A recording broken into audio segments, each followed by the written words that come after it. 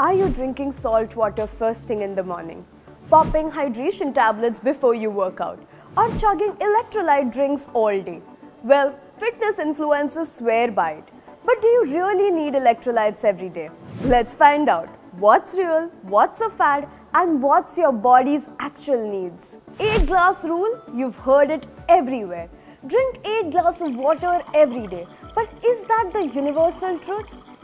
See, you must have heard the 8 glass rule and it's almost followed everywhere. But what's the universal truth? Do you really need 8 glasses of water every day? Well, hydration needs vary by your body weight, climate. So say hello to Indian summers. Activity level. Well, the United States National Academy says men needs 3.7 liters of water a day and women needs 2.7 liters water a day from all fluids including food. So here's the bottom line. Don't force it. Drink when you're thirsty and eat water-rich foods like fruits and veggies. More water is equal to better detox? Well, that's not true.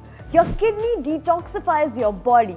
Well, water helps, but overhydration can flush out important minerals. Best way to hydrate in Indian summers. Nimbu pani with a pinch of salt and jaggery. Coconut water is natural potassium boost.